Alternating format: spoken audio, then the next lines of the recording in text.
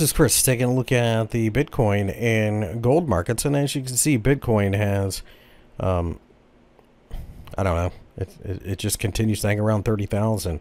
We've done nothing since the 10th of May, roughly.